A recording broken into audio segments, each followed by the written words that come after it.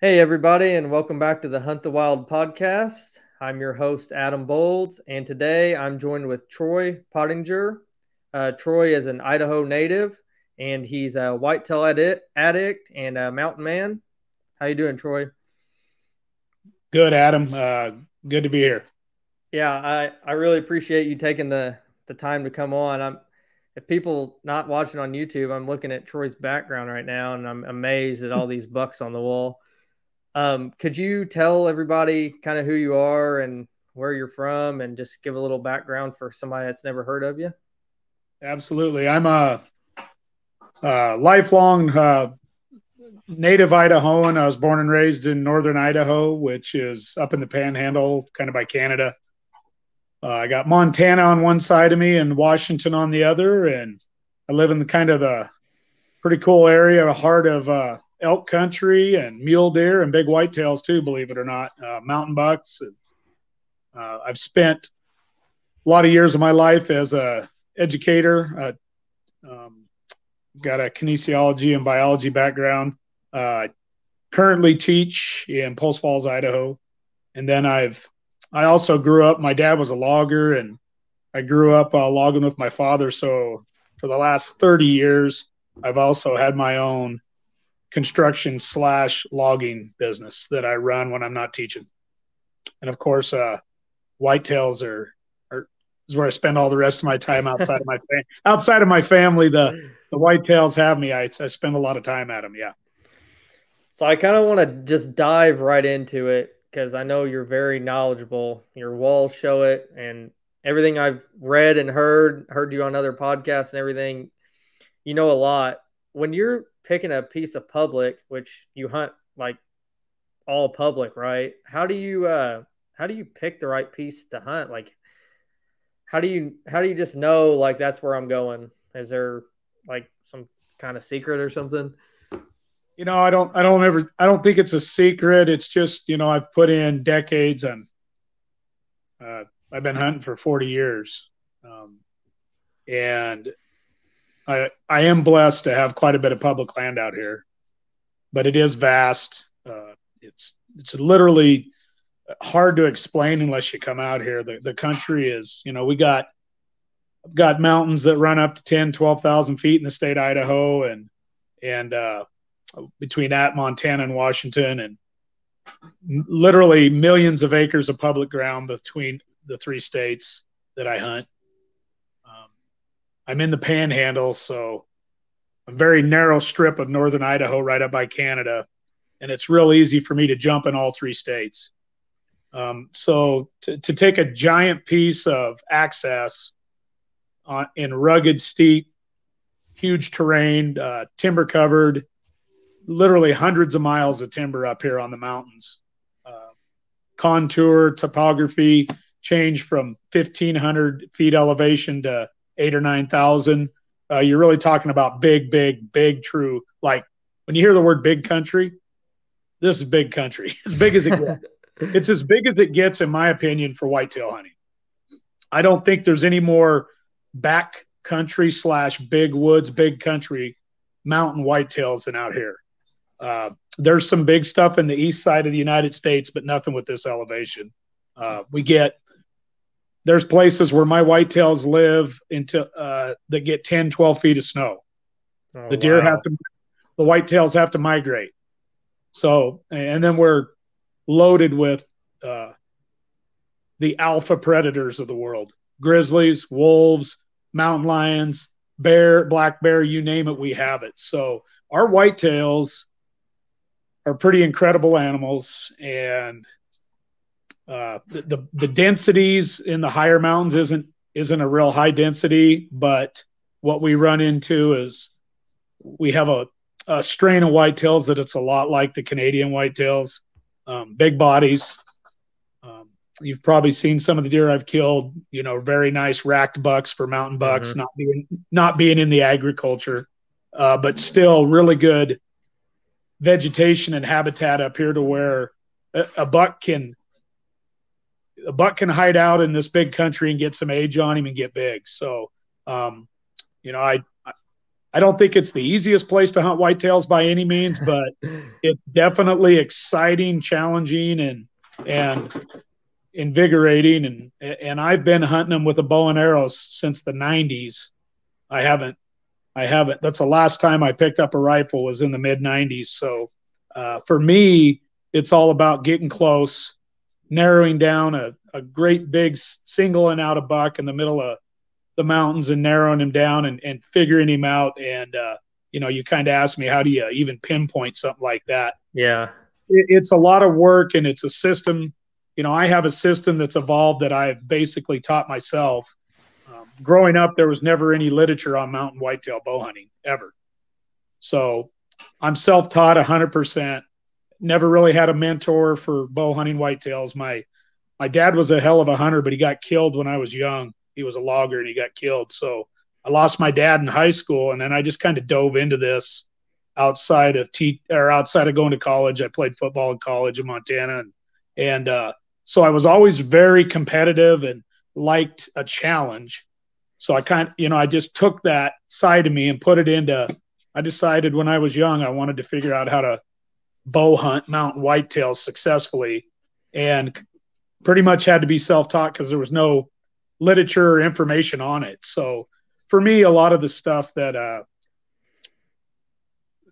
I guess I would say that has happened for me and worked out for me over the years, and it's just been pretty much self-taught, learned, and made a lot of mistakes along the way, and then learned from them, and just always very driven to to get this thing figured out to where I could be very consistent. So for me now, uh, being consistent is is is one of my major priorities, and I like trying to find the oldest, biggest whitetails in the country up here. So it's a lot of fun. It it definitely looks like you have it figured out. Again, I'm looking at his wall back here in, in amazement. Is that like your method? You talk about your method. Is that something you feel like you could write down and like somebody could read and like really, really learn from, or do you think like a lot of it has to be self taught up there? Oh, I think you know I've had a lot of people over the years ask me to write a book and write book write a book on it, and I do think I've pioneered a lot of the whitetail tactics and strategies for mountain bow hunting. Um, my age, of course, you know I've been I'm 52 or I'm 51. I'll be 52 next month. Uh, I've been at it a long time, four decades, and I started bow hunting in high school. So I started early when literally guys in this neck of the woods laughed at me when I was a kid and said, You're going to bow hunt whitetails? What? Good luck with that. Well, that's all I needed back then, even as a kid. I just needed to hear that. Good luck with that, you know, and laugh and older guys around town, you know. Uh, so for me, it was always uh, this internal passion I had. Just, I just fell in love with them when I was young on our ranch and just outside of St. Maries, Idaho. And my dad, before he passed, told me one time. My dad was an elk hunter and a mule deer hunter, and he said, "You know, son, if you can figure out how to kill these big whitetails with a bow and arrow, he goes, you're doing something in this country. And if you can do it yearly, you're really doing something." So that stuff stuck with me as a young guy, and having the, uh, you know, I always made time and had time to scout, shed hunt, walk hundreds of miles in the spring and summer when I had some free time. Uh, I love to shed hunt and just cover ground. And it just all kind of evolved, you know. And I decided in my late teens, early 20s that I wanted to kill mature bucks only.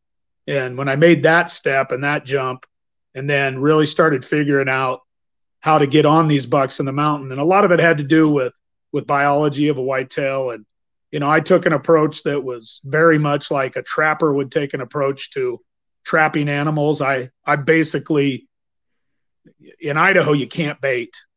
Um, okay. It's strictly a no baiting state.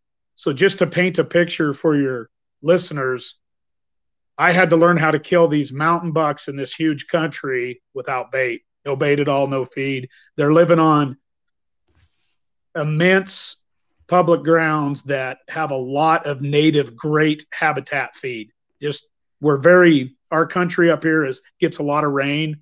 The timber grows like you wouldn't believe. This is timber logging country, and so does the vegetation. So there's plenty of water, plenty of native feed, and more cover than you could ever imagine. Like literally more security cover than most people could imagine unless you come and hunt it. I mean, this is elk country. So with all that all that to say, um, I was always fascinated, even in high school, with whitetails and biology. And I remember in my zoology class, I literally put together an entire whitetail buck skeleton, every bone, drilled every hole, put every bone together, uh, put a whole whitetail together and suspended it. And that was my project for zoology. So I was always a nut about whitetails. And then I dove into the biology of whitetails when I was younger and read everything I could find just on the science of whitetails back in the day, back in the se- late 70s, early 80s, mid 80s, and late 80s.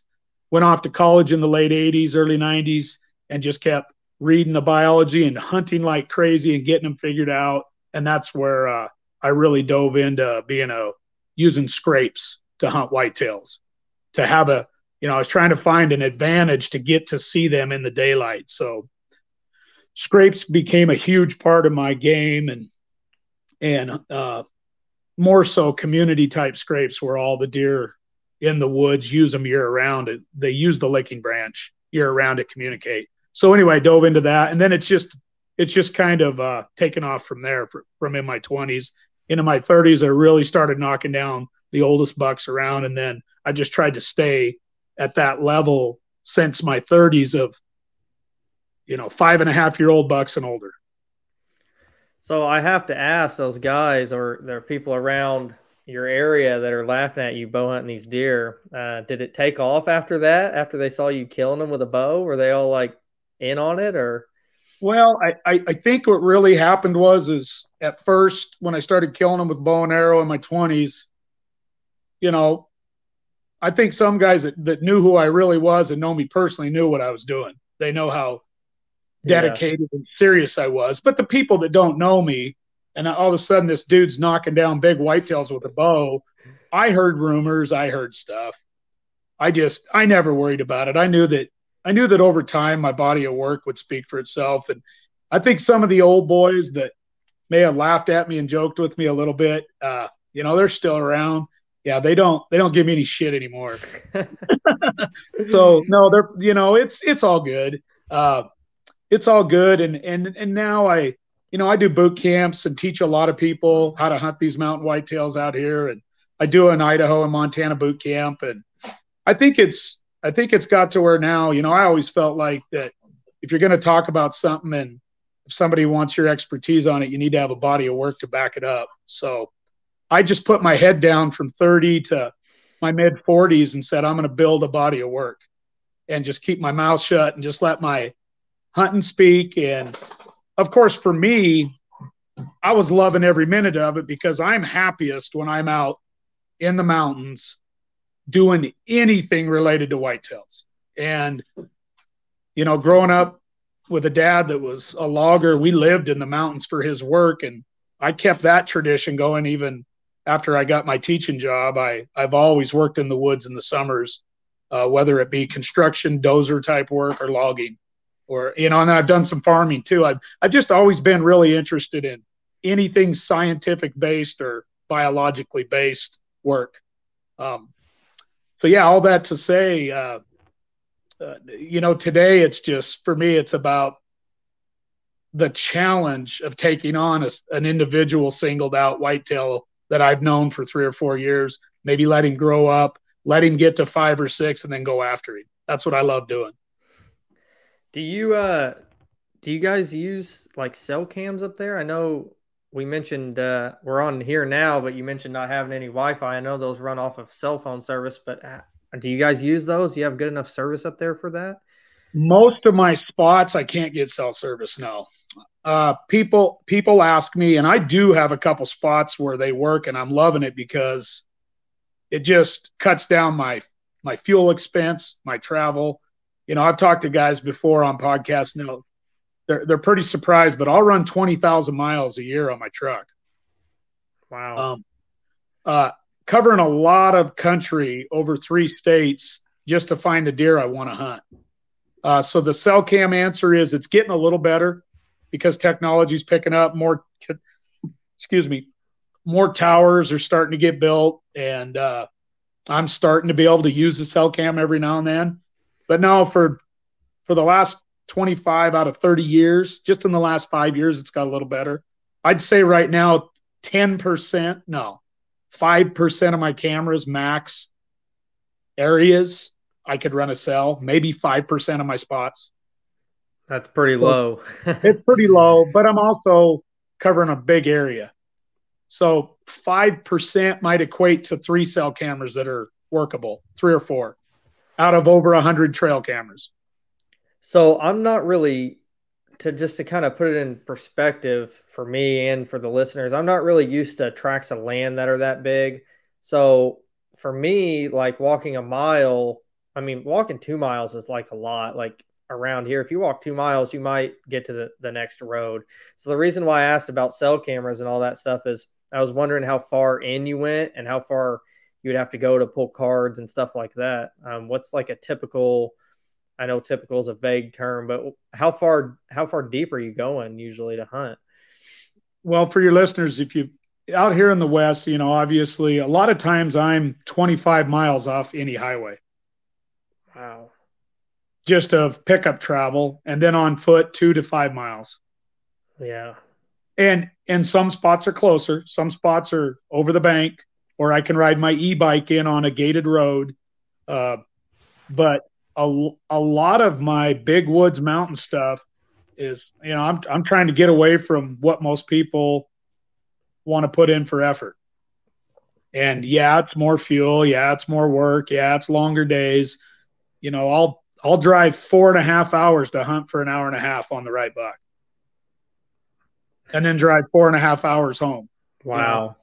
Uh, wherever he's at, people ask me all the time, "Where's your honey hole?" You got to have a honey hole. Now, I, I literally hunt where I find the buck I want to hunt. And one year it might be 100 miles or 200 miles away from where I hunted the year before.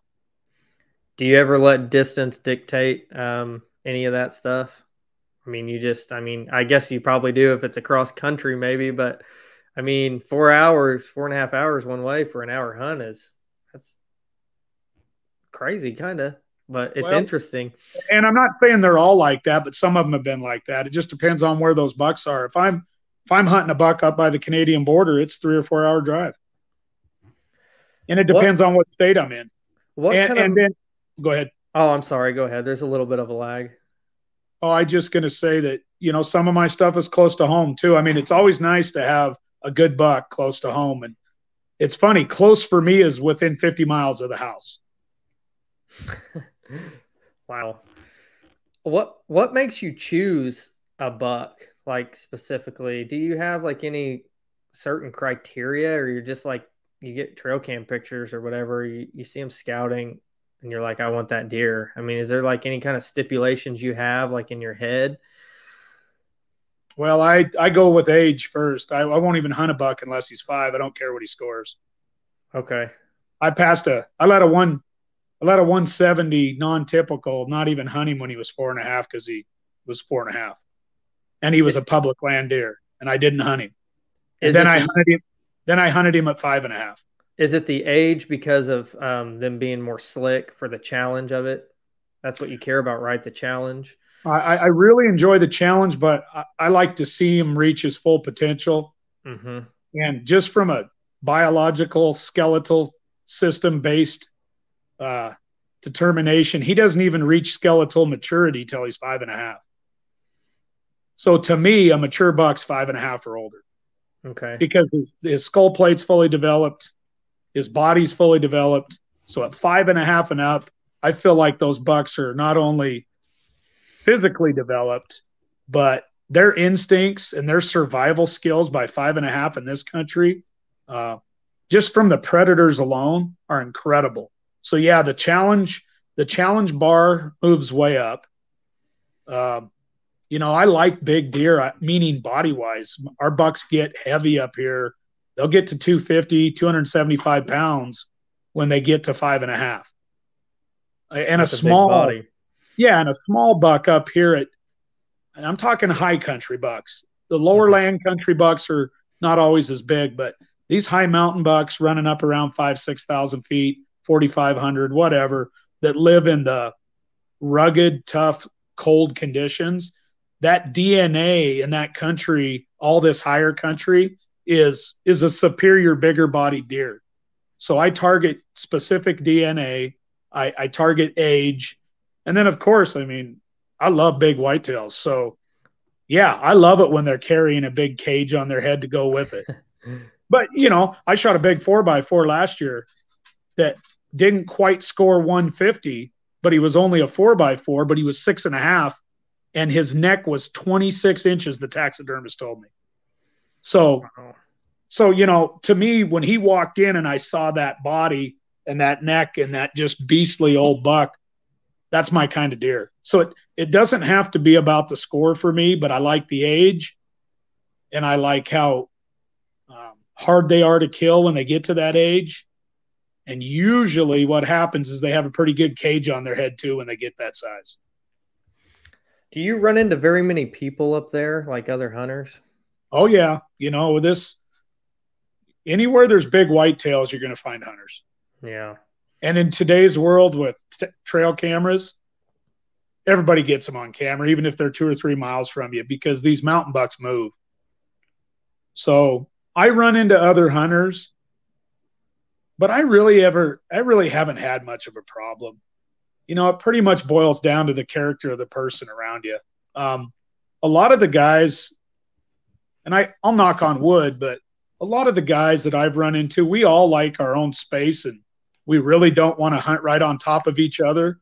And we have literally millions of acres of public land between these states. We don't have to sit right next to each other in this country. Do guys sit within a mile of you, half a mile sometimes? Sure. You know, and I've always felt like may the best man win. Whoever's doing his job the best, you know, good luck to you. Have you ever had any issues with um I know you have a lot of you've been on a lot of podcasts and stuff on the internet, and people probably know your truck and stuff. Have you ever had any issues like that where where guys like want to move in because they know Troy's up in that area? Yeah, I think it happens. I think some guys are just trolls. Period. Um, that's yeah. who they are as a person. So yeah, I think I think there's been some people show up around me, you know, and I always hear the excuse, you know, I, usually where I'm hunting, not usually, always where I first start uh, unless a buddy, you know, says, "Hey, Troy, let's go hunt this together." But when I'm out by myself on my own, picking my spots, I walk a lot of ground to make sure I don't find any tree stand sites, setups, or anything. And I also try to go to a pretty high degree of getting away from the mass masses of people. I look for difficult uh, late season scenarios where I know there's going to be a lot of snow and hard to get through places. And I'm set up pretty good with equipment to get into those places and get out safely. So as the conditions get a lot worse during the season, I end up having even a lot more uh, anonymity. You know, I'm off on my own a lot of times, but there's a lot of hardcore guys in this country too. It kind of just comes with living in the mountain country. People are pretty hardcore. So yeah, I have people around. It's never been terrible, but I've had a few. I've had a few dudes that I know they were hanging around in the area because they knew I was hunting the area. Sure. Yeah. I think that's going to come with it. Uh, you know, I figure if they're a better whitetail hunter than me and they can out hunt me, then more power to them. Yeah, that's, they'll that's kill them. Honestly, they'll kill them before you. Hey, if they get them, they get them. You know, and there's there's been some really good bucks. I there's a guy that I that I found a buck and I knew and I found out later he was hunting him and he ended up killing the big buck and I actually screwed up on the deer the year before and bumped my uh, son's bow hanger at 18 yards on this deer. But long story short, and I won't say any names. If he ever listens to this, a shout out to he's a good he's a good he's a good dude and a hardcore hunter. I actually respect that. He ended up killing that deer the next year. And I was truly genuinely happy for him because he's a good guy and he busts his tail. He never moved in on top of me. I didn't go move up on top of him. You know, that type of thing. I do feel that with the real hardcore guys because none of these guys want to be right by each other. They're so we all kind of, it. Yeah, we all kind of keep our space. Now, hopefully the younger generations learn, you know, I'm speaking to every young guy out there. You'll do a lot better in life if you make you make those right choices and do what's right better things will come to you than if you get caught up in the hype and think and do things that are I'd say semi kind of unethical to try to kill a big buck because big bucks make people really foolish sometimes, really foolish. And you know, it's one thing I've taught my boys and about my my one son's a professional bass fisherman. My hmm. other son's my whitetail hunting buddy that's a college football player right now. I've always taught him that that don't you know don't ever succumb to the pressure. Do things the right way or walk away from it. Don't take that bad shot if you're not happy with it just because maybe dad would make that shot or or don't you know my son that's a heck of a bass fisherman he's got he's got great character and ethics. He he won't go crowd a guy in his honey hole and run him off of it like he has guys do to him. Mm-hmm. You know, and he's 20 years old and and running with the big dogs now in the bass tournament or the bass circuit out here in the Northwest. But he takes that same mentality I feel like I have for whitetails or my younger boy has for football. My older boy takes that into his bass fishing. It's it's really the same game. Good people are good people people that wanted to have the easy way out and be lazy about it and follow you around guess what? They're going to do that in life period. It's kind of it's kind of the whole process too like i don't know like if you you're missing a puzzle piece if you're just you know using somebody else's skills to move in on a deer i don't know that wouldn't be for me either that's kind of the whole experience for me. Do you well, ever you learn i don't know how you learn anything if that's what you're doing. Right.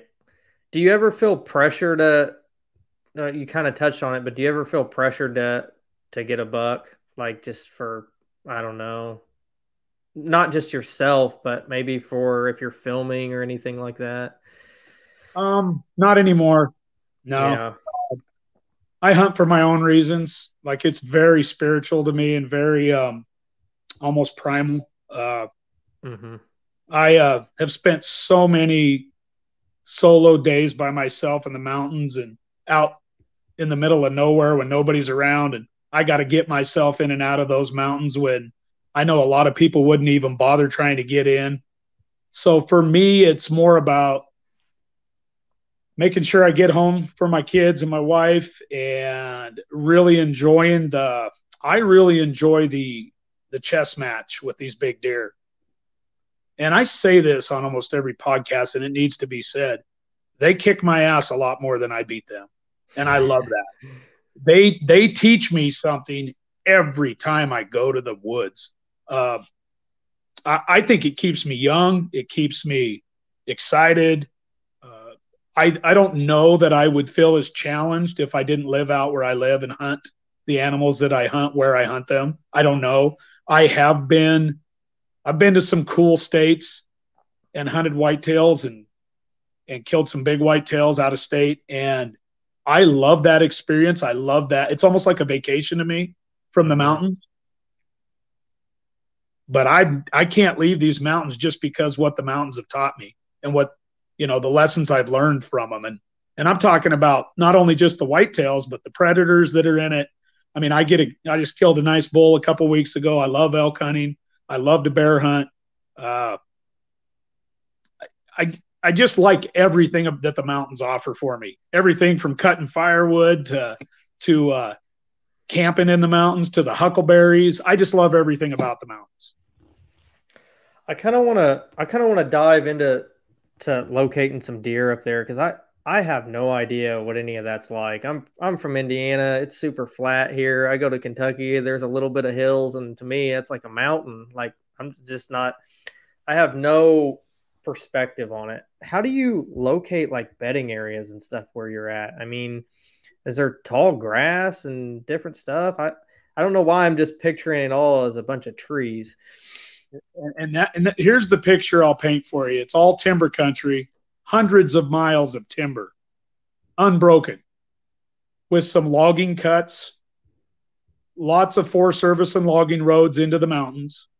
Uh, the underbrush is thick northern Idaho is known for being one of the toughest places to hunt elk in the planet. You can ask anybody. You'll walk into the timber and you'll have a wall of brush 10 feet high for miles in some places. Not all places, but a lot of places. Those make incredible bedding areas in there. They're great food sources. Then you add in steep, blowdowns, everything mixed in with it. Then you add in all the predators. Um, so what you you know the way the way I break down and find my whitetails is is is kind of twofold. You've got to have the right habitat, meaning you've got to have habitat that feeds them well and protects them well with security cover. And then you've also got to have elevation that works well with thermals and prevailing winds daily. These whitetails in this country have to evade mountain lions, wolves, grizzly bears, black bears daily. So everything, I did an article on it about 10 years ago with the local newspaper here. Everything for a big whitetail in this country, you can find him if you know how to study the wind and elevation, habitat, and topography.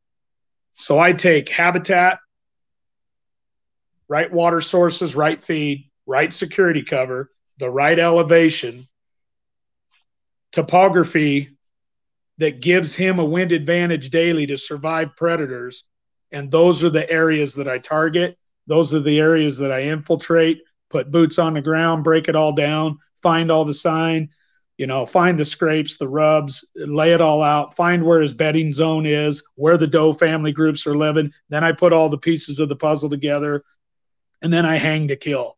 I put, I hang stands only if I know that I can get that deer based on intel in the daylight at that spot and that I can get in and out without ruining it. And I move around too, and I have to move a lot of times because my bucks move. So I'm I would say I'm a ha- I'm a I have stationary great spots on big scrapes that are incredible year after year community scrapes, but I also have to be mobile and be able to move on a buck when he decides to move his bedding zone. Do you ever pick an area because um, the predators are less dense? No, because they're everywhere. Okay. Uh, one, the only thing that'll make me move and leave a spot for a while is if I have a pack of wolves move into an area, especially when I have snow and can see the tracks, usually when a pack of wolves into moves into my drainages, if they don't leave for three or four days, they're there killing everything they can. Hmm. And then for me, I always have to have a plan A, B, C, D, and E. Because if I don't, if I put all my eggs in one basket on a mountain buck, good luck. You ever have your... to, yeah, I try to have five bucks every year that I can kill that are killable. Do you ever have the the like if some wolves move in, do they ever kill your deer? oh yeah, that happen. Yeah, um, I hunted a probably one of the best bucks I've ever hunted in my life about four years ago. I had him on trail camera for four years. I didn't start hunting him till the third year on camera. And at that time, he was pushing mid 80s, 190. Um, big public land, seven by eight, beautiful double splits. Anyway, I hunted him for a year, didn't get him, came close, actually missed him by 18 minutes at one tree stand one day. Trying to, and the only thing that kept me from killing him is the snow was so deep for me to get in there. It took me forever to drive up in. I had to chain up. This was late November. I was walking a mile and a half, and the snow was so deep it took me an extra hour to walk to the stand. Wow. And I literally missed him on video by 18 minutes that day at my scrape. So then I hunted him the next year and I was in the game with him and I thought for sure I was going to kill him. And I was in the game like I had built a, a community mock scrape that I had a two 160s and him on. I put it in the right spot in late or in late October and I was hunting him all of November and I've told this story before on a podcast. My wife ended up needing an emergency surgery. And I told her, I said, I'm going to go up this weekend and whichever buck shows first, I'm going to kill. And I had the one, the beautiful six by seven 160 in there. I called six pack. And then I had the big boy splitter. And then I had another 160 that wasn't around much, but he was around. And six pack came in first, so I killed him. That winter, that winter, my big split buck that was in the 90s, I was told he scored 90. The the guys that found him, uh, he was killed by wolves. Huh. And they knew he had been. It was some cowboys found him uh, checking range cattle, but the story was back to me that he scored 192 gross. Uh, they put a tape on him. That I mean, this is the story that came back to me. They definitely found him. He totally disappeared, and they found him, and they, you know, obviously pretty good find. Uh, but all that to say, that deer was probably in trouble if I wasn't in that situation because I had two weeks left to hunt him there. But I promised my wife the first one that came in, I'd be done so that we could take care of her business. Did you uh did you get to see the sheds or the, like the skull and stuff? No. Uh, I, I saw I, I talked to a very credible source that got to see him and hold him. Yeah. And he said, yeah, he was incredible. Um, and they knew that the wolves had killed that buck because all of his ribs were broke. When wolves eat something, they break the bones. When a cat eats something, it'll chew the nose off of it, but it won't usually break all the bones like wolves do. How's that make you feel when you're hunting deer like that and something happens? Does that make I knew feel... that deer. I knew that deer for five years. Yeah. Um, how did it make me feel? Uh, I got to be better. You know, I didn't get it done. Honestly, that's how I think. Yeah. You know, I had I got to hunt that deer for two seasons and didn't get it done. Uh, he taught me a lot. He really made me move on him, and I moved. I just kept kept after him and moving and getting closer. And then I started getting him in the daylight, so that's where I set up and killed the ended up killing the other one. But make me feel it's just motivating to me to like next time I come across a whitetail that caliber that I got to be better. You know, can't cut any corners and not not slack in any way. You know, I got to make it happen when I have an opportunity. Never stay home because you're tired or never back out because you make an excuse. I mean, I just that's that's one good thing that I've always tried to do is oh, I get on myself if I slack at all because it'll cost you a good animal.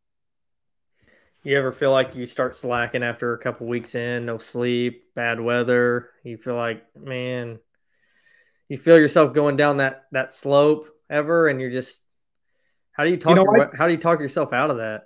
I, I think I think what I think I, I'm cut from a little different cloth than some people. I grew up, my dad was a logger.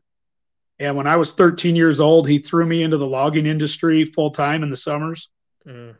13, sawing fallen trees and bucking trees full time with my dad. Had to do man work all summer, 12 hours a day. So that was the hardest thing I ever did in my life when I was young. And then at 14 and 15, I got good at it. And it was just, but it was super hard work, hardest work I've ever done in my life. So things like high school and college football were easy to me. So my whole point is on this is my my mental state when I'm grinding and when it's really hard, even to this day at my age when it's tough and I'm wore out, all I do is think back when my dad had me logging with him and how much harder that was. So I, I guess what I'm trying to say is I can dig pretty deep for a whitetail you know? I can dig pretty deep and i i've spent a I, I do i spend a lot of nights in the backwoods in the back of my pickup in my back seat in my quad cab or my crew cab. I sleep in my truck. I'll camp out on a buck for three or four days and never leave the mountains. And you know i've had nights where it's below zero in my truck and i don't want to start my truck because i don't want to make any noise. So i run a little tiny heater in there. But man that's that's some fun stuff you know foot of snow, foot and a half of snow. I know I have to chain up to get out, but I'm in there hunting a deer, just me and the deer, and the and the world really doesn't exist out there other than what you're doing right there in the mountains. Or you forget about the you forget about the the noisy world down below. It's the whole experience. It's not just uh not see I I leave my house, I go hunting for a few hours, I come back and it's warmer, you know, everything like that. I I'm, I'm jealous of that whole experience. Oh, and uh, I love coming home to my warm house too. Don't get me wrong, but it's pretty cool to spend three or four days at a time up in those big woods and just camp out. Killed a lot of bucks camping out on them that way, putting the time in.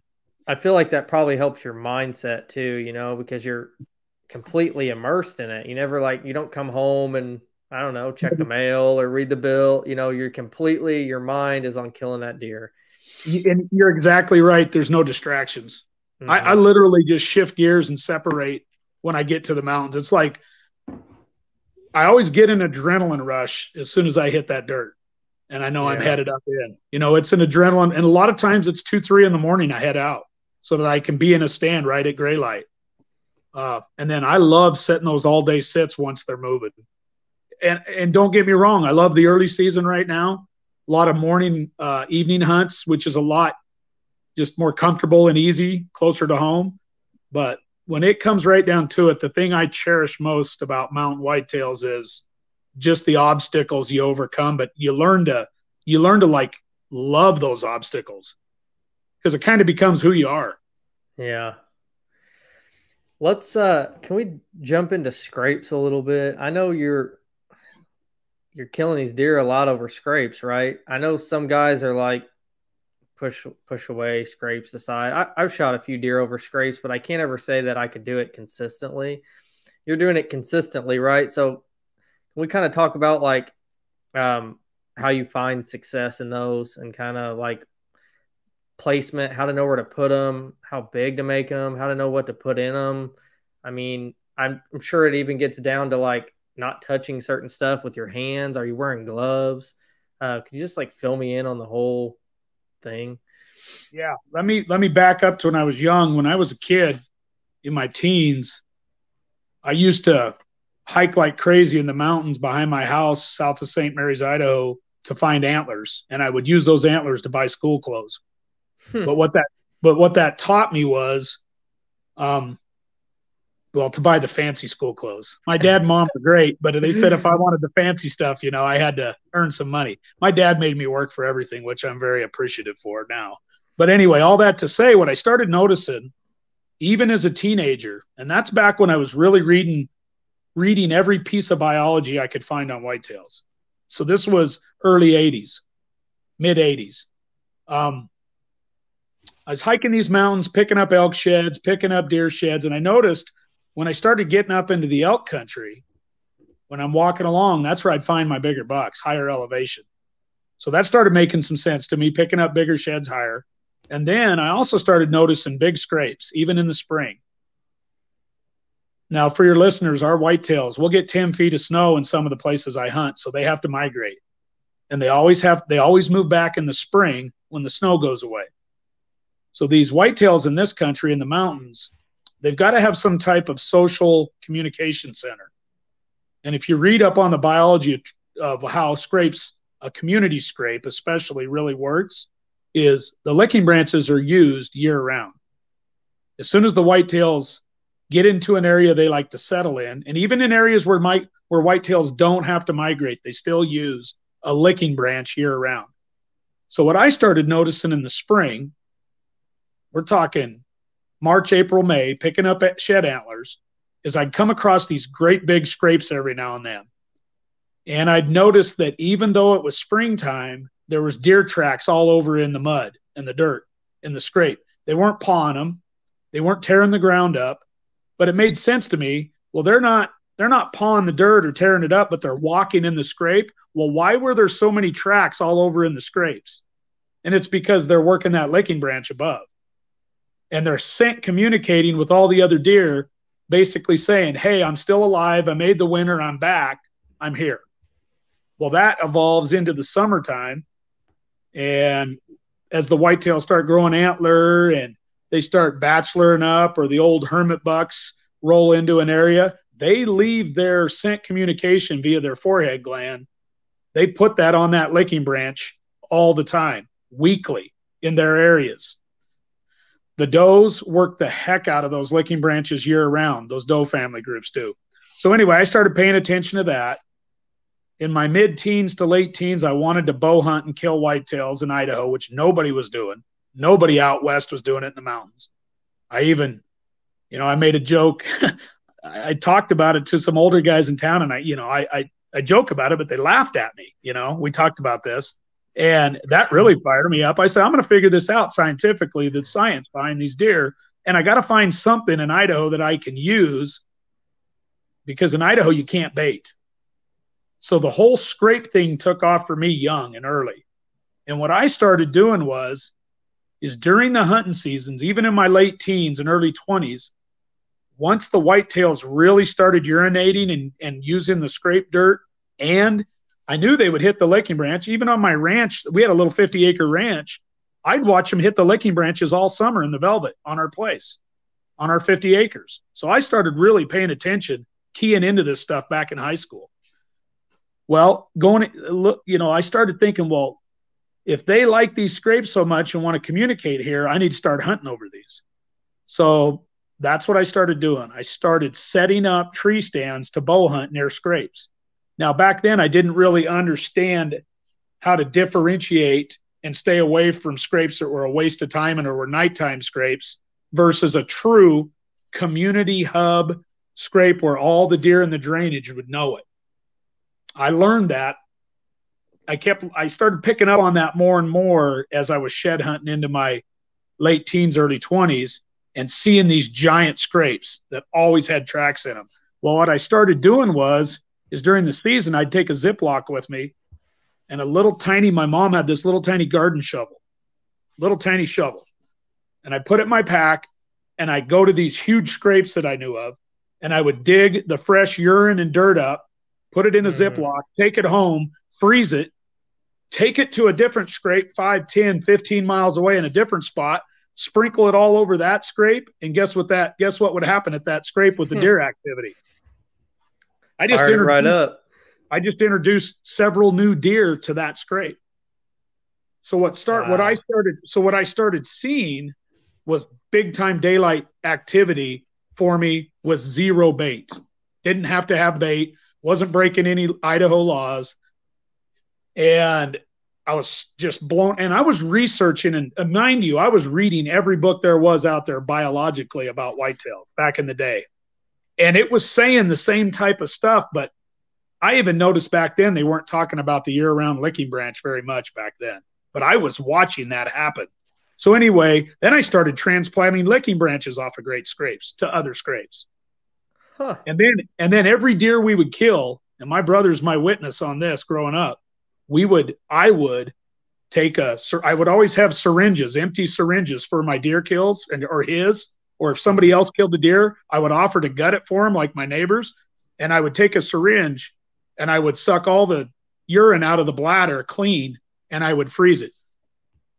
So then I started stockpiling urine and moving scrape dirt and moving licking branches. And I started seeing nice whitetails in the daylight and I started killing them. And then came along synthetics and buck fever synthetics, and I didn't have to go to as much work. And I start then, long story short, I transitioned over to synthetic scents because it wouldn't rot. I didn't have to go to as much work. I didn't have to tear up deer scrapes, even though to this day, to this day, I will still move dirt sometimes on a scrape just because it's fun to watch what the deer do at a different area. Anyway, I, that's what ended up happening. And then I really started focusing in on only community type scrapes.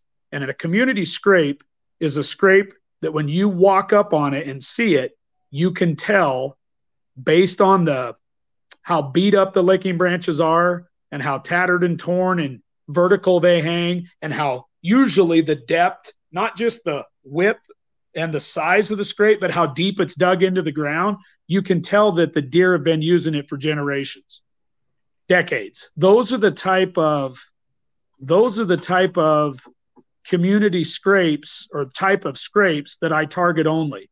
I won't hunt any other type of scrape.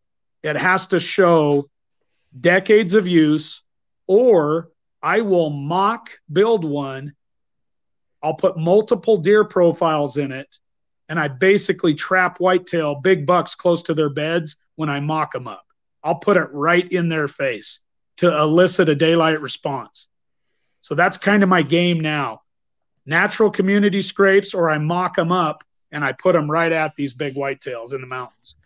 Let me ask you this: How do you tell between a nighttime and a daytime scrape, other than with a trail camera? Real easy. Put a camera on it. Yeah, just a camera would be the only way to tell. Well, it's it's some of the some of there's some really good community scrapes that deer only use at night. So yeah, I stay away from those. What I usually end up doing is most of the time I'll nail it because I'm in the right kind of security cover. I'm off the beaten path. I'm set up where deer feel pretty safe. So a lot of it's a lot of it's location. You know how close 100%. you are to, to the bedding Scout, and everything. Yeah, yeah. It's a ton of scouting. Don't get me wrong. This stuff doesn't just just stuff doesn't just blow in on the wind. I mean, it's it's a lot of scouting, but it's also years and years of doing it to where I can get. I always start with a map. I always start with a satellite and a topogra- topographical map, split screen side by side. I always pick the. I always go to elevation that I really like. Then I start looking for the right topography. Then I switch to habitat and I break down all the habitat based on what I know grows at those elevations.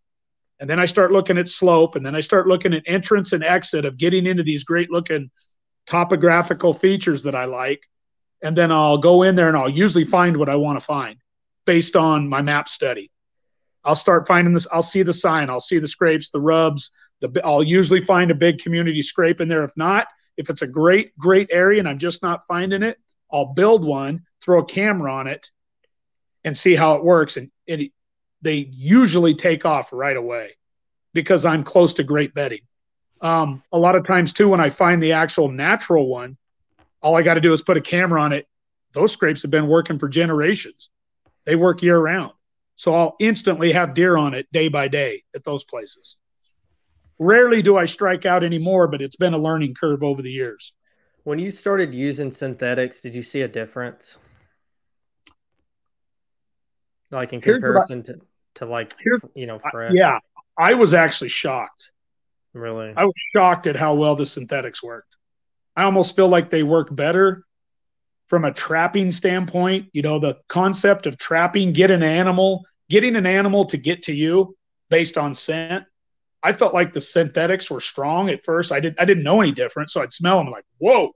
Well, mm-hmm. as soon as I started putting it out out here, and I do it everywhere. I use it everywhere now, no matter what state I'm in. Midwest doesn't matter. Uh, what I've learned is is the wind is the wind is everything. So when I place a scrape and location, I'm placing it based on what the wind will do for me, and which where the wind will blow that scent, because I'm I'm basically trapping a whitetail to come to me. So I'm throwing scent at them, the does and the bucks and the fawns and everything, or a specific buck. And what I found with the synthetics is it doesn't ever rot, never mm-hmm. goes bad, and it sends out a strong initial scent cone. It gets deer there right away. And I'm I'm hearing that from 95% of the guys that get my mix from me. They love it. They're just I had one guy text me said, "Troy, 24 hours, I had 17 bucks on it." Oh my gosh. I'm not joking. And this was a guy that actually has another podcast. And he texted me. He said, Troy, I can't believe this. Huh. It's simple whitetail biology, location, paying attention to detail, keeping your damn human scent out of it is huge. You know, I treat it just like I'm a scientist out there when I'm building these things. I uh I have two questions. One, are you wearing gloves if you're touching anything. And two, well, I guess not really a question, but I'm glad you touched on it. I, when I've used scrapes, have tried to use it. Um, you know, it's location based, but I never really thought about the wind of it. I never, I just kind of thought about a deer walking by it. I never really thought about the cone, about the scent the cone of it blowing. Uh huh. It's yeah. all about the wind. You're trapping. Every trapper, yeah. you ever hang out with a trapper? Trust me, they know exactly which direction that wind's going to predominantly blow, and they know what the thermals are going to do every day to help their scent. Yeah, it's really interesting. I, I yeah, I'm going to try that. I, I, like I said, I've always tried to put it, you know, in an area where I think a deer is going to travel through, but I never, never really thought about wind, like it, it catching that scent. So, um, are you wearing gloves? Um, yes and no. If it's really hot, and latex gloves are going to make my hands sweat like crazy? No. Mm-hmm. If it's cooler out, yes. But I I use Vanishing Hunter. I've used it for over 20 some years. Buck Fever Synthetics Vanishing Hunter. When I don't, when it's real hot and I'm building them in the summer, I just spray down. Uh, okay. And I and I've tested this stuff for years, watching my trail cameras and video after I leave the scrape. You know, I keep track of how long it takes for a buck to show up or a doe and to see if they show any signs of spooking. This doesn't happen. If I spray down with my hands, if I spray my hands down with the Vanishing Hunter or wear the latex gloves or both, I just don't have any issues with it. I don't have deer walk in on video, and I always put a video camera on every one. That way I have true intel. Pictures pictures don't give you true intel. You choose but, uh you choose video over pictures because you can tell a little easier that they're they're spooked or not. Well, you learn their behavior. You learn you learn about the demeanor of every deer. Mm-hmm. Um, you learn. I always have a in my video view. I always hang a windicator. That way, okay. every time a deer comes in, I can tell exactly what wind that specific deer is using to want to get to that scrape. Hmm. Plus, I'm studying every little thing, every little aspect about the specific. I don't care if it's a doe, a big buck, a young buck. I want to know everything I can about him. I want to watch how he behaves with that scrape, at that scrape, around other deer. And I want to really pay attention with that windicator, how he chooses or she chooses to approach that stand or that site. That's something I've never thought about either is checking the wind on a on a camera. I think that'd probably help a lot of people out if they try that. Big, I'm going to try big, that. Big time on video. You got to run videos. Spend the money on bigger cards. Get a good camera that takes good video, and you will you will gather ten times the intel as you will on pictures. We're not we're not selling cameras or anything, but I am curious on what kind of cameras you like. Well, I've well, let's see. Started using them 20 some years ago. I've tried to, but I've I've purposely tested, I believe, cameras in the toughest region there is. I'm sub-zero temperatures. Mm. Uh, I run them. I run them all winter on purpose to see if they can handle it. I leave them out all winter. Uh, put them up high. I'll get seven, eight feet of snow in some spots for three months, but I run them all winter. Yeah. anyway, the best camera that I am using right now, the toughest, best pictures, best video overall for the best price by far is the Suspect Hoot. Suspect game cameras out of Oklahoma. They are awesome. And then I and then I love the Lone Wolf custom gear video camera for video. It's awesome too. The Suspect and the Lone Wolf custom gear are my go-to combo. Do you ever have any problems with batteries being that cold? Yeah, the the the little the little the one thing I like about the hoot, the suspect hoot, it's mm-hmm. small. And it'll last me all winter on a set of good Duracells. Okay. Usually what happens to me on video though, if I have it on video, is my card fills up. Yeah. Even if it's a 64. Still gonna fill up. But I get a ton of like literally right before we got on, I was going through 449 videos on one card. Oh, wow. Off a suspect hoot. How long are your video clips? Are you setting them at 30 seconds? Or are you setting them like a minute or two minutes? I'm going short initially until I get a shooter buck. And then once I get a target buck, then I go to 30 seconds. Okay. So I'll do 15 seconds initially to make, you know, just so I get more videos. But once yeah. I get a target, yeah, once I get a target buck, then I bump it up to 30 or 60 seconds because I really want to I want to get a ton of intel on him. I usually go 30 on the on the target bucks.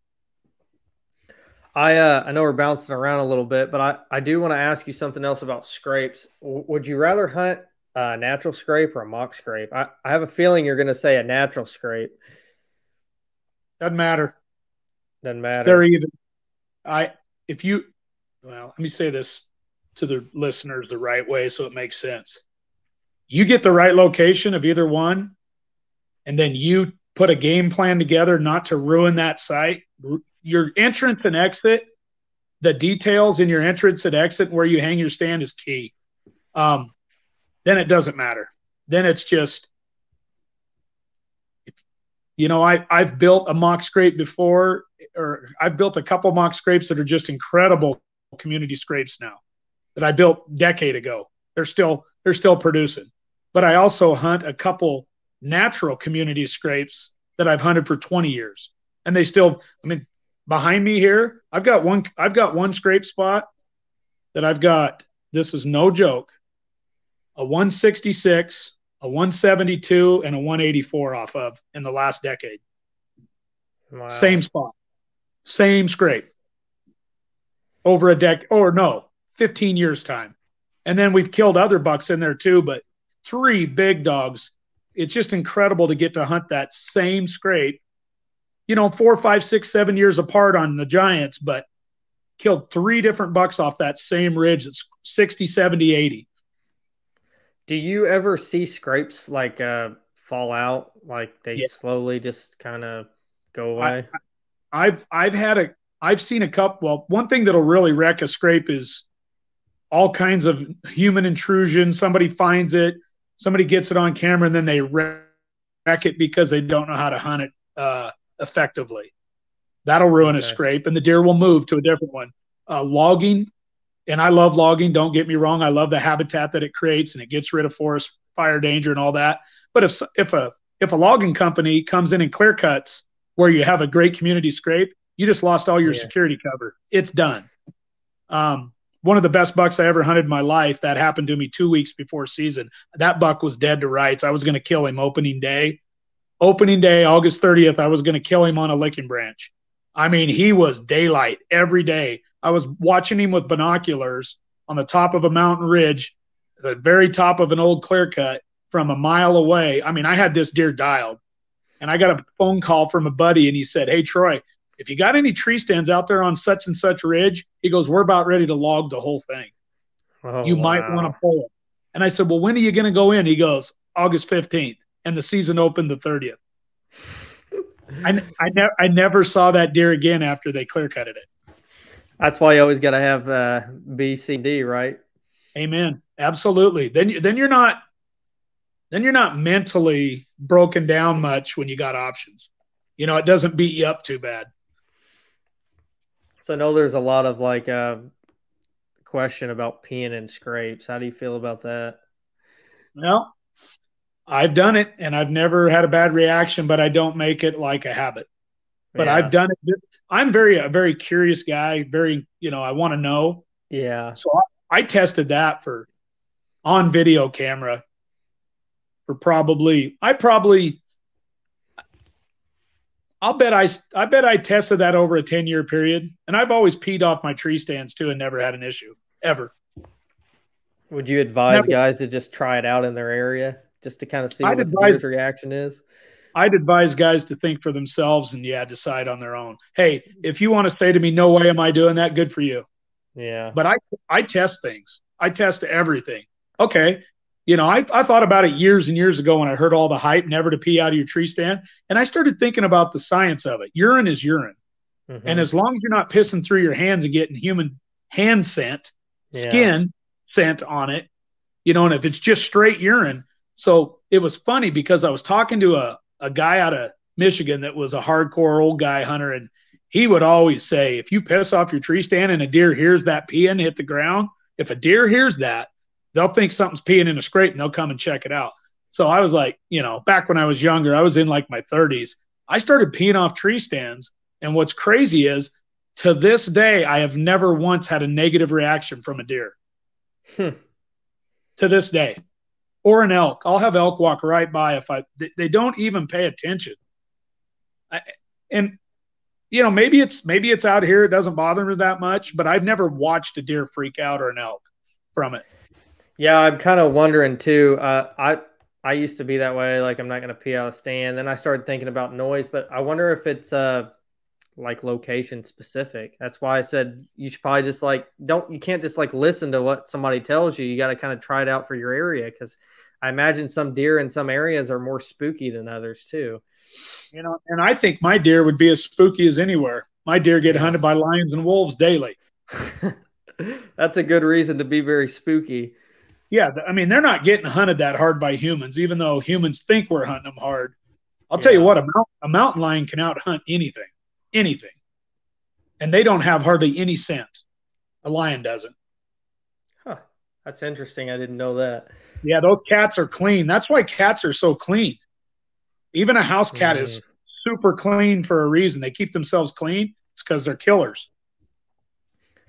So we talked about mock scrapes. How how do you decide how big to make them?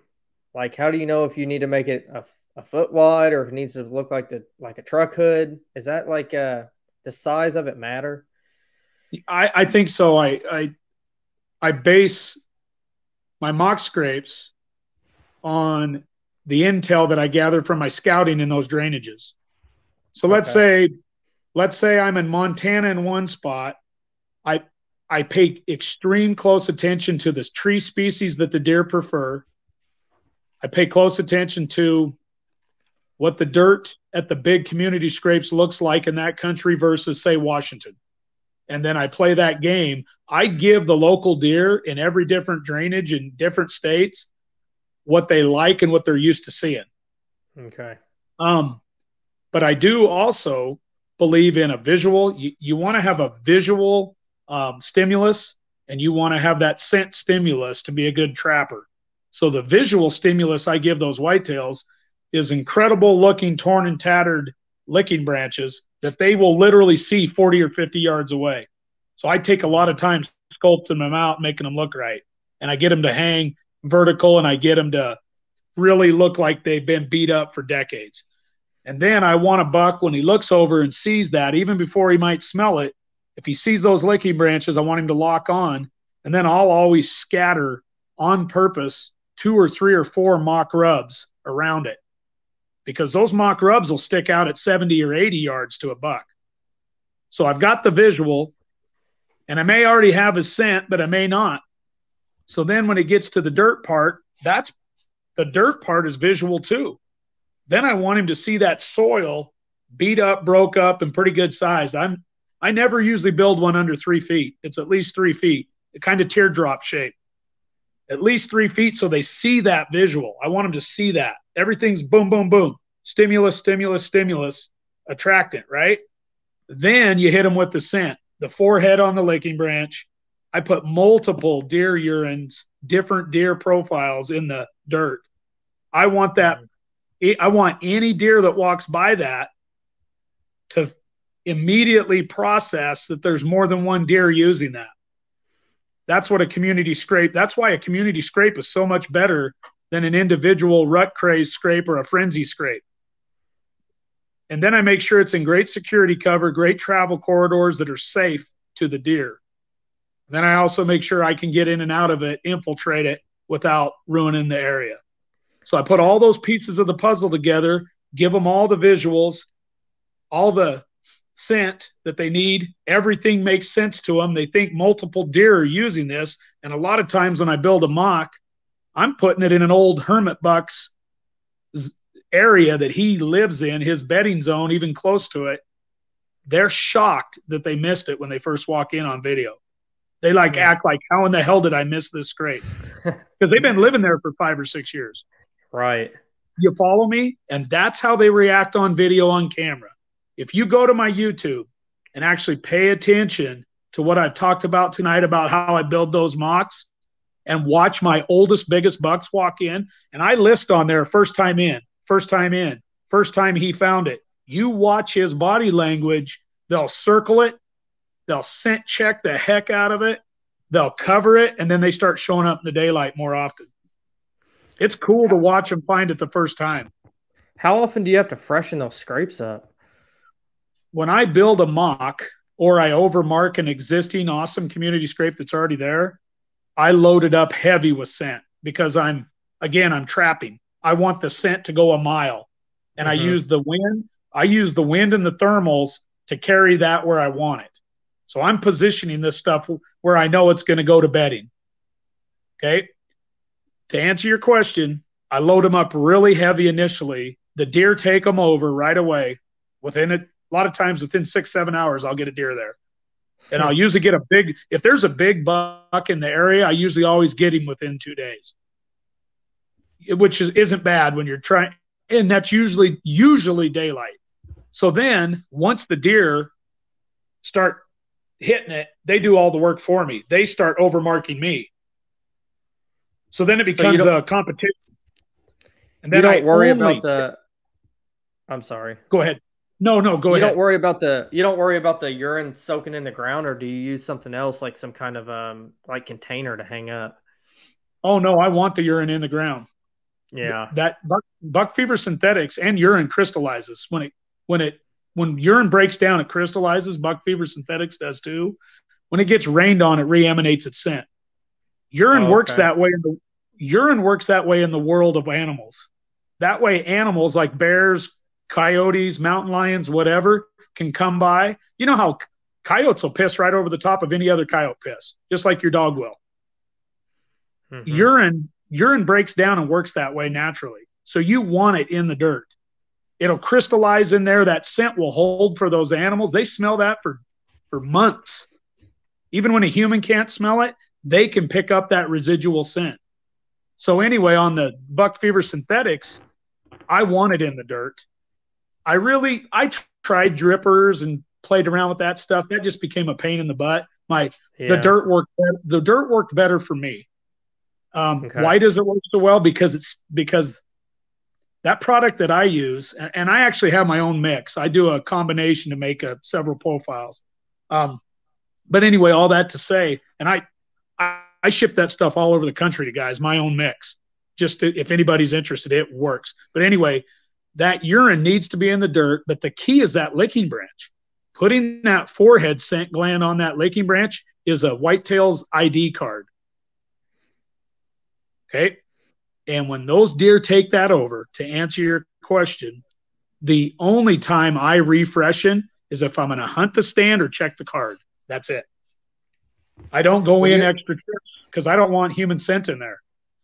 When you initially make the scrape, I know you mentioned when you were a kid you were using that shovel to kind of like a little hand shovel to steal some of the dirt. How are you making? How are you scraping everything out? Like when you're way back two miles, are you carrying a little shovel with you, or are you using your boots? Nope, or I don't. I don't want to carry any tools. No, I just use a big stick.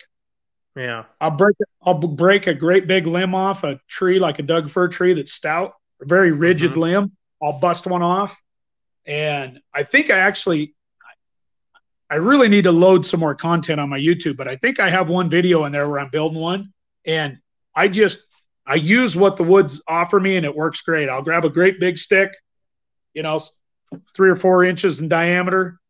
Uh, I don't know, four feet long, stay back a little bit, and I'll scrape all that dirt out with it. Uh, touch, put all my urine on the ground, forehead gland all over on the licking branch, pack that stick out of the woods 100 or 200 yards and chuck it over the bank. That's what that's what I've always used to make scrapes too. That's how I was taught when I was a kid is to just use a stick. So I was kind of wondering. Yep. We always carried ours off, you know, 100 yards or so. Um, I was kind of wondering what your thoughts were on that, but you answered that for me. Yeah, and my hands get that scent super far away. Yeah, and the truth is, I'm I'm clean as can be. I'm always my hands are always sprayed down. I've never had any issues with that either. Never how, had any how, issue. Go ahead. I'm sorry. How close are you hunting to the scrapes? Are you like 20 yards away? Are you I, I always tree? make sure I I always make sure I can kill at that scrape. Yes. Yeah. Okay. And I like I like slam dunk shots, so I'm usually 20 yards away. Yeah. See, I've heard a lot of guys not wanting to hunt right on top of scrapes. They want to hunt a little bit away from them, so that's interesting. Well, a lot of guys do. I I don't want to I don't want to be hunting away from a scrape and there's a my best whitetail standing in the middle of it for a reason. Yeah. Um, a lot of guys like to hook, you know, try to set up on that the the predominant downwind side of that scrape based on whatever their wind currents are. Uh, that's fine, but if you're set up on the downwind side of it, you better be set up on the other side of that downwind side because if you don't have that dialed right, you just ruined that whole setup. You got to be on the other side of where you think he's going to come downwind of that. No, and it's funny you bring that up because let's talk, you know, Andrae D'Acquisto and I talk a lot, and we were talking about that. And Andrae said, Yeah, he goes, I learned the hard way. He goes, as soon as you try to set up like that too far downwind, you end up having a big one in the scrape. And I agree with him. I don't ever want to miss one of my big bucks that likes my scrapes, that shows me he does on the camera. I want to make sure I can kill him there when he comes in there. So that kind of brings up another question for me. Are you ever setting up um, stand locations? Are you always putting up and tearing down like every after every sit? Because I'm kind of wondering about if you have if you do leave a stand there and and sticks attached to the tree and you're only 20 yards from the scrape, are those deer going to spook because you've been climbing up and down those sticks? Are they going to like, you know, smell the sticks, smell your scent on, you know, the metal or whatever? Um, no, I don't. I've never, I've never wanted to, especially with mountain deer. They're they're way too they're crackheads. They're way too skittish. Mm-hmm. If if I'm hunting on a scrape that just produces and is producing and has for decades, my stands stay and they only get uh, readjusted and new straps over the decades if they need when they need them. So I want I'm a minimal intrusion guy. Okay. I don't want a bunch of noise. If uh, in my in my woods in my country, if I uh, go in and hang and tear down and hang and tear down at the same site, I won't see many deer. They'll they'll hear me, they'll be on to me, they will avoid me. So at my really at my great scrapes, the stuff's preset and it's hung on top of them. And it's it's in super quiet. I'm very clean, uh, in and out, hardly any intrusion. I've got the wind dialed for them and me both. I usually have some type of terrain barrier that protects me in my setup. And then I can hunt those, and I call it a bulletproof setup. I can hunt my stands over and over, and I don't see a difference in my deer frequency. You know, and there's there's times where when you're hunting a mountain buck, if you got him three days of in, if you have him three days a week in the daylight, that's good. We're talking mountain deer that travel and cover a lot of ground. Even even in the early season and late season, they shift which way they feed directionally just based on the predominant wind every day. They always have a wind advantage. How far so do that, they travel usually? Oh, it's nothing for a for a, a mountain a mountain whitetail in the early archery season of September to go two miles just to go to feed or three. Hmm. And in the rut, you better count on your big bucks traveling 10 miles a day, a lot of them. Wow. And, and you need to know where those hubs are and where those doe family groups are to intercept them in specific points. Oh, it's it's a it's a big country out here. It's different. It's way different. Yeah, I can't I I can't imagine how I mean I'm like I said, I'm so used to little five, ten acre pieces and I I hunt an area in Kentucky that's 8,000 and I feel like that's huge 8,000 acres but I mean that's probably nothing to you guys. Do, what when you are going mobile yeah what, I do. what are yep. what are you using? Um because I know you're walking you're walking far so you got to be packing light. Yeah and I do have to go mobile at times to move on a buck especially towards his bedding and I will do it when I need to. I'll have to sometimes I'll get off one of my real nice my really good scrape sites because I know that I'm not close enough to him to get him daylight, and I'll move right at his bedding area. When I go mobile, I got a Lone Wolf Custom Gear 1.0, mm-hmm. and I run four and I run four long sticks, and that's Are the you, lowest. Uh, that's the lowest I hunt out here. I'm in I'm steep wa- terrain. I'm wanting to get involved in in some of that gear myself.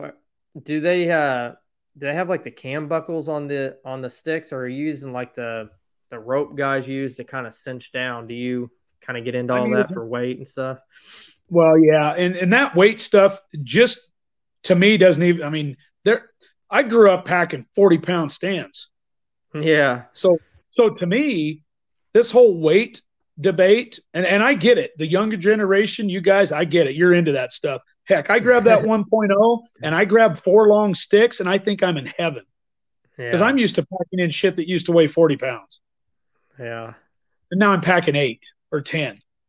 So I just giggle at the, I, I honestly, for me, cause it's because I'm old school and I don't care if it's 10 pounds or 12. That doesn't matter to me. Yeah. Um, and I run the long sticks because I, I have to deal with thermals and steep mountain country. You got to play the wind a little bit different than flat ground out here. So I hunt a little higher than a lot of guys. Something I've always wondered because, like, I use a I use a summit climber, you know, and set stands, but I ha- I I haven't gotten to the whole standing sticks yet, but I, I plan on it next year. When you take like I don't know four sticks in and you only need three, what do you do with the other one? Because I imagine you don't want to leave it sitting on the ground. Um, uh, you can you can bury anything and they won't smell it. Yeah. All you got to do if you if in the woods, there's a reason why there's a reason why uh, mountain lions shit and cover it up you can bury anything under a little bit of dirt and debris and nothing will smell it. Just try it sometime. Take a freaking dump in the woods and cover it with six inches of dirt, and you'll never smell it. There's a reason why lions are so stealthy. Seriously, that's no joke. So if I had to stash something, yeah, I would cover it with. Uh, I'd grab pine needles and leaves and throw some dirt over it and just cover it.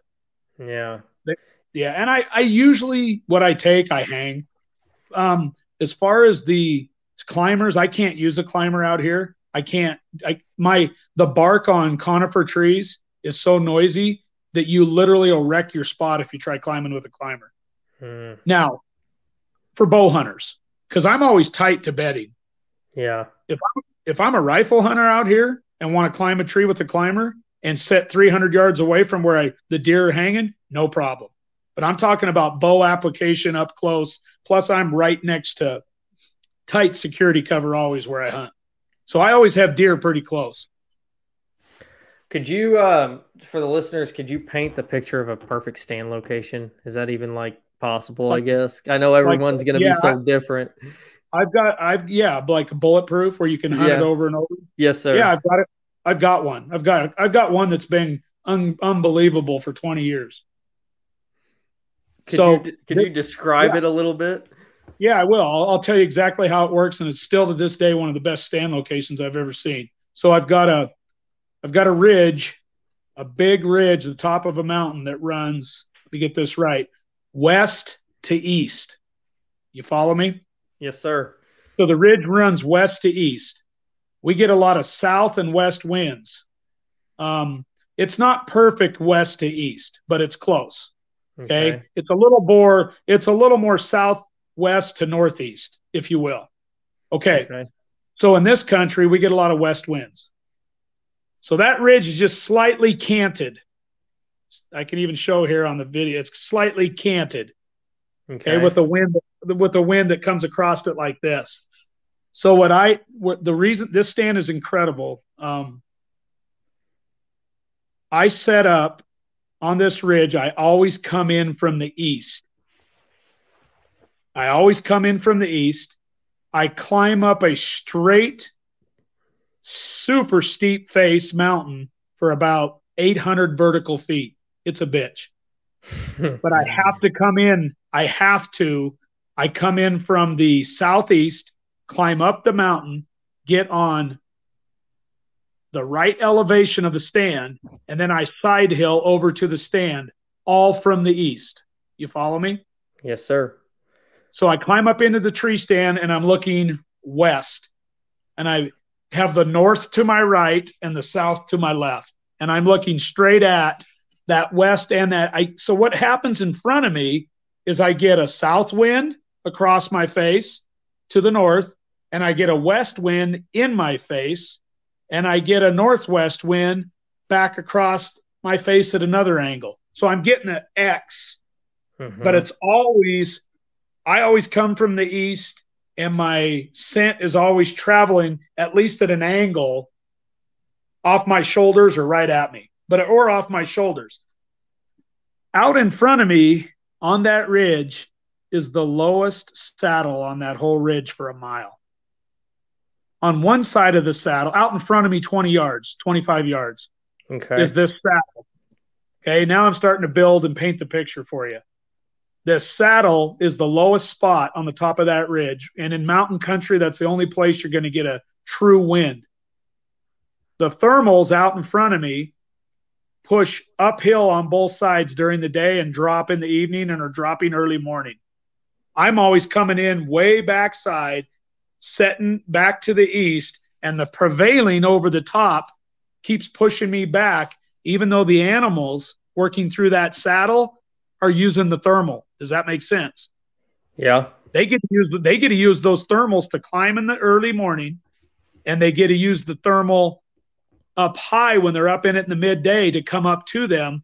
But the prevailing wind for me, as long as I got a decent prevailing wind, my scent always blows out over my back trail at at least an angle. Okay. I never ever cross that scrape 20 yards in front of me in the saddle. I never cross it. Hmm. I've, I've got travel both sides of the ridge up the north face and up the south face and down and from west to east towards me. So everybody's going to say, well, what about the animals that are traveling east to west? Okay. I'm sitting literally in a tree that has a bluff right behind it that drops down about a 100 straight feet. Hmm. And I have to come up around that bluff and circle around it from the east. But where my tree stand is, I literally have a rock bluff that drops off. So my scent actually drops over 120 feet off that stand. Let me let me ask you let me ask you this: Do you have cameras in there? Oh yeah, I've got I've got a picture camera and two videos in there. Yeah, I was going to ask you how often you climb up that thing to check the cameras. I don't. I let them run and I go hunt it and I check it maybe once a month. And I've got an mm-hmm. e-bike to get. Oh, I have an e-bike to go in on the north side. I can okay. ride my e-bike right in in the middle of the day when stuff's bedded and go in and out silent, check the camera and leave. Huh. So that saddle has an old, old logging skid trail that I've cleaned out that I can use my e bike on to get in quiet and quick. I won't hunt in that way. I'll come in the backside. But yeah. in the summer, in the summer, you bet I'll check my camera on my e bike. You hunt that spot every year? If there's a big enough deer there. Yeah. There's always a nice bull there. There's always a big bear there. There's everything there. It's one of those incredible terrain based spots. Oh, and on the north side, 40 year old clear cut, thick as 75 acres of cl- logging clear cut that all mm-hmm. the animals bed in right below the saddle or come up through. And a like thousand a... feet, yeah, a thousand feet below me on both sides of that ridge, agriculture in the bottoms. Hmm. Actually, is, 2,000 feet. Is there a sweet spot of elevation that you like to be at?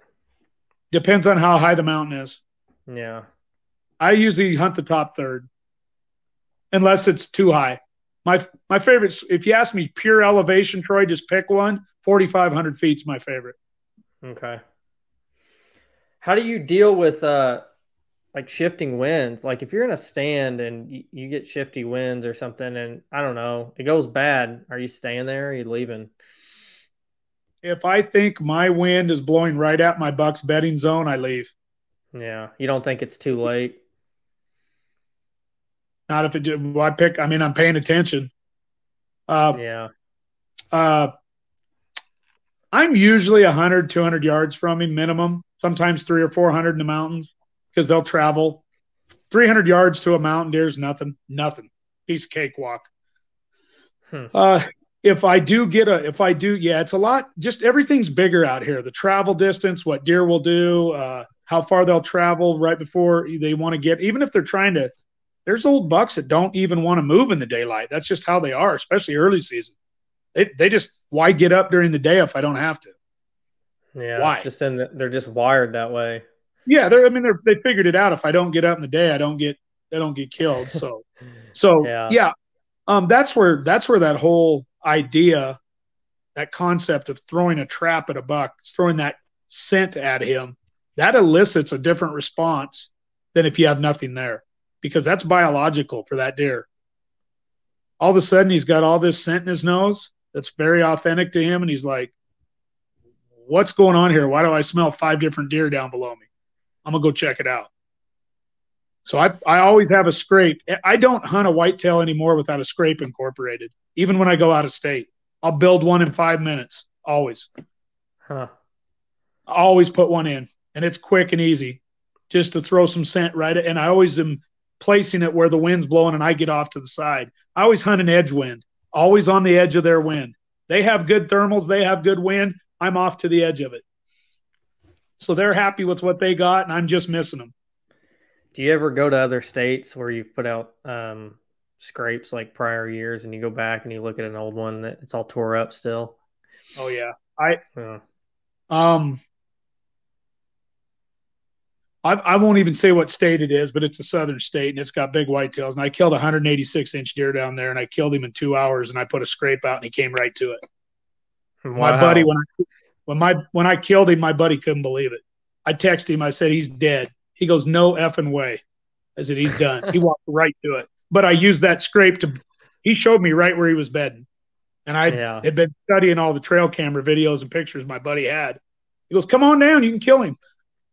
Well, I didn't set up where they wanted me to. I set up off to the side, down closer to the bedding, threw a scrape out 15 yards in front of me, climbed up my stand. In two hours, he was there. Walked right to it. It was strictly that scent. He came right to it, and I got closer to his bedding. I've never used synthetic. I've always used the real the real stuff from the store, you know, but I don't ever know really how old it is or anything. So I'm I think I need to get some synthetic and try it. Well, let me let me give you a little science lesson. If you use the real stuff from a store, it's protein based, it's real, and it's rotten. It stinks. Mm-hmm. Yes. It'll spook you. Hmm. Don't use anything natural protein based that's rotten. If you ever, the next time you kill a deer, dissect the urine out of the bladder and smell it, it has no rotten smell to it all. And as soon as natural urine hits the ground, the first stages of urine breakdown out in the air is meant to have an ammonia like smell to get out through the air. It's strong, mm-hmm. But it won't smell rotten. The stuff that you buy at stores that's real, that's been bottled, will smell like an outhouse. It'll smell rotten. I know exactly will, what you're talking about. and, deer will spook from it because that's not natural. That's like that's a rotten dead smell. Yeah, that makes perfect sense. Yeah.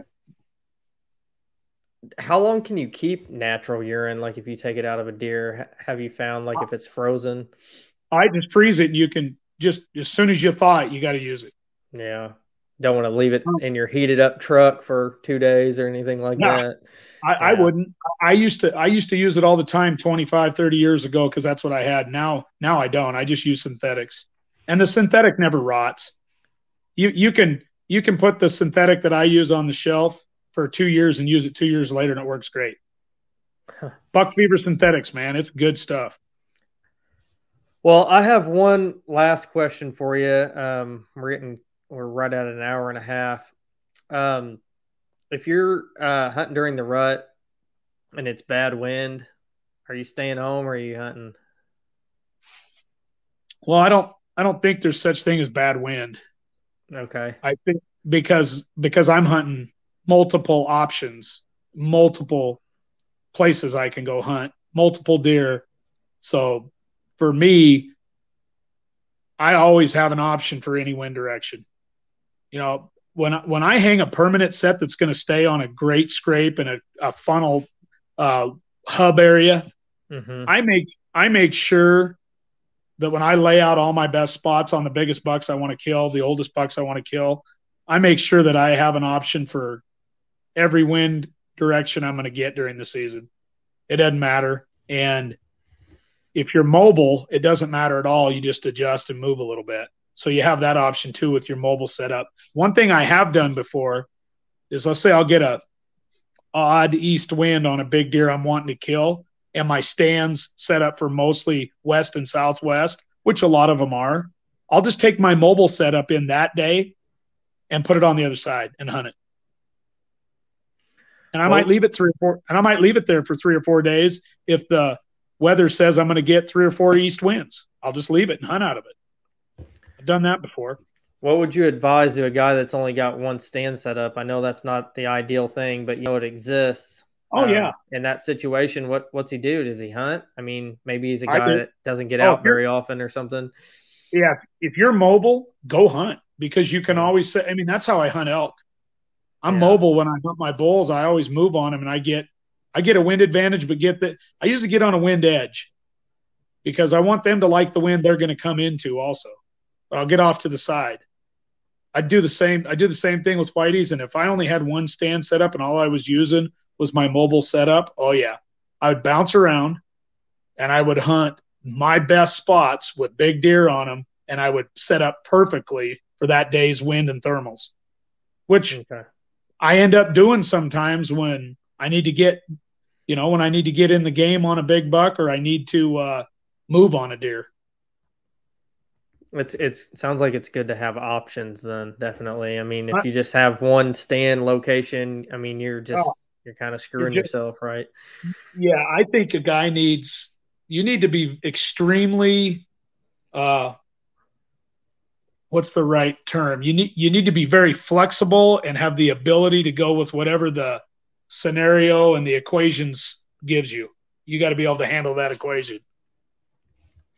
Yeah, I, I I mean I've I've killed some deer, but nothing super nice. And I kind of was in the mindset of a, a long time of if I sit here long enough, I'm going to see a deer. Now I'm kind of getting away from that, and I want to do more mobile stuff. So it's interesting to hear about you know moving around and all that stuff. I I've been doing that this year, and I've really enjoyed not staring at the same field, you know, for days on end. That gets so yeah. old. Yeah, and get in the cover. Get in get in the security cover where they feel safe to move. And the truth is I'm hunting I'm killing the majority of my big white tails close to where they're bedding. almost always.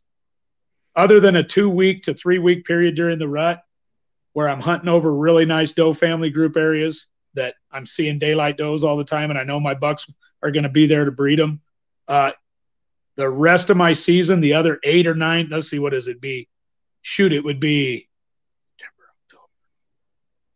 uh, the other 12 to 14 weeks outside of the rut, which I'll consider what would be rut movement, which is pretty much a whole month with scraping. Um, yeah, I'm I'm bedroom close. Hunt the beds, hang the heads. I like that term. Um, could you tell everybody kind of where to get um, synthetic Uronat, um, what you're using, and uh, where to find your YouTube channel and stuff? Some some people might not be watching on YouTube, so they might not see the little ticker scrolling at the bottom. So I want to make sure people can connect with you if they have questions or um, want to get some of, some of that stuff. Yeah, um, if guys want to chat with me, I, I'll Instagram's the best place to talk to me, and my Instagram is mtn underscore man. So Mountain Man thirty three, mtn underscore man. Uh, my IG thirty three or Instagram Mountain Man thirty three, and then my YouTube's just my name Troy Pottenger. Uh, Buck Fever Synthetics is the product I use, and you know Buck Fever's really good to me. So I actually have my own uh, big supply of buck fever that I ship all over the country personally, and I may I I give guys my personal mix. If guys want my stuff, just find me on Instagram. If they want uh, my stuff's pretty big quantities. I don't do small eight ounce bottles or anything, but you get my own personal mix. You can just go to buckfever.com and order right off their website too. So whatever guys want.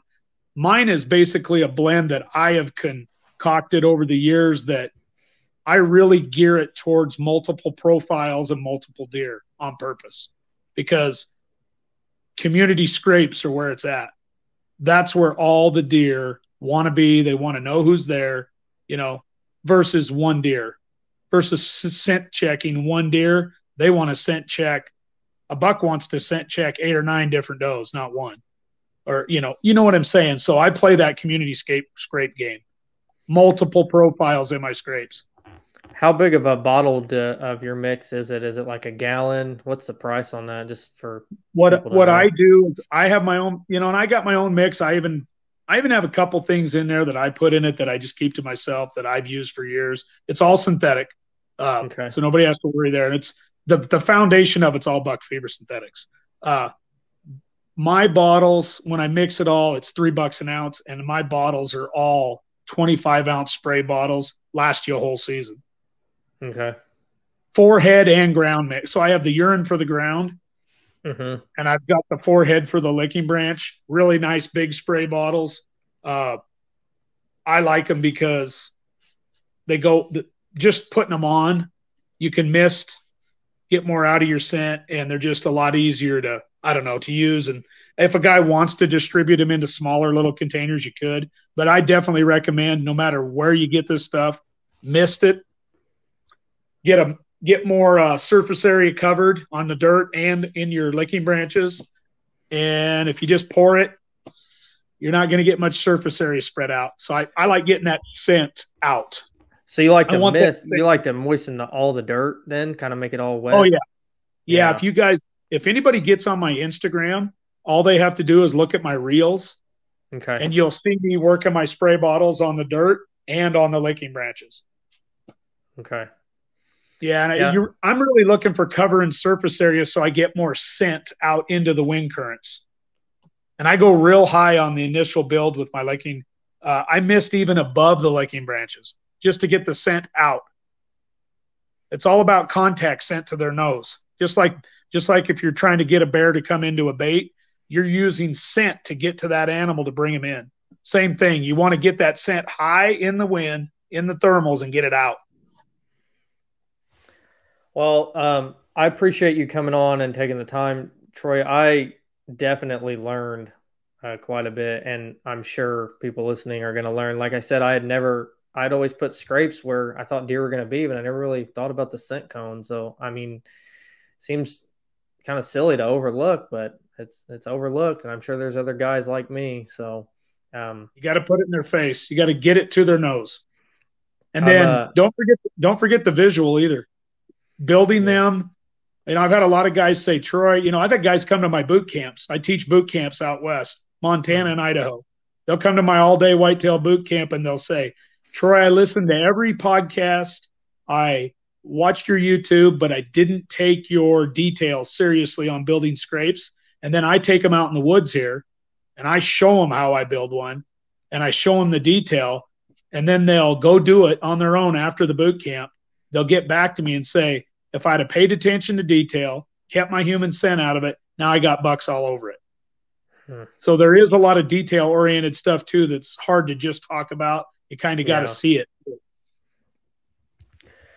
Well, uh, I won't keep you too much longer. Um, I'm not sure how late it is there, but it's almost 11:30 here. I got to get up early for work. So, um, again, I, I appreciate you coming on. I know you had another show you had to do earlier, and you're probably getting a dry throat from talking so much. But um, it's been it's been really fun, and uh, I hope to catch up with you soon. I'm gonna try try some of your tactics this year, and um, I'm I'm gonna order some of that stuff and try it in some scrapes. I'm really intrigued by it now. I, I got I think maybe I kind of was always rubbed wrong by synthetics.